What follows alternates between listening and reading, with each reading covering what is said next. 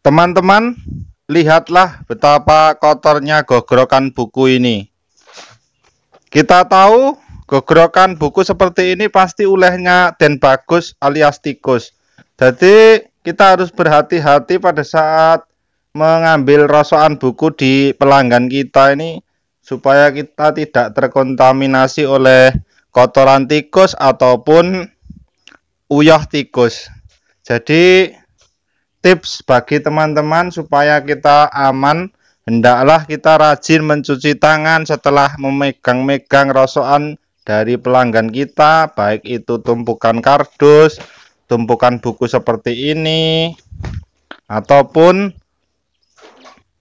benda-benda rosok yang kita ambil dari pelanggan kita. Demi keamanan kita pada saat kita mengambil rosok di klien kita hendaklah kita memakai masker juga setelah memegangi rosokan klien kita kemudian kita rajin cuci tangan supaya kita terhindar dari virus leptospirosis, hantavirus ataupun virus dan bagus.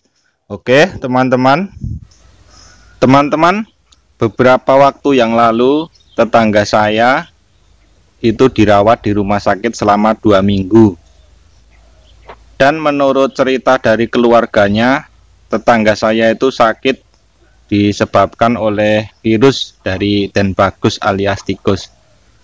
Padahal tetangga saya tersebut orangnya juga cukup resian, tetapi karena suatu kelalaian atau kelupaan, virus tikus ini bisa masuk ke dalam tubuh entah melalui makanan ataupun melalui lubang hidung ataupun melalui usapan mata, mulut dan sebagainya.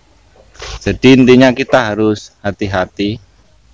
Tetangga saya itu dirawat di rumah sakit selama dua minggu dan menghabiskan uang untuk membayar obat saja itu habis 12 juta belum lagi biaya kamarnya di kelas 2 atau 3 jadi biaya yang dikeluarkan pasien umum itu sangatlah besar kalau tidak mempunyai BPJS intinya teman-teman pada saat kita mengambil rosok di pelanggan kita pada saat kita mendemoki rosok, hendaklah berhati-hati, rajin cuci tangan, pakai masker juga, supaya menjaga kesehatan kita.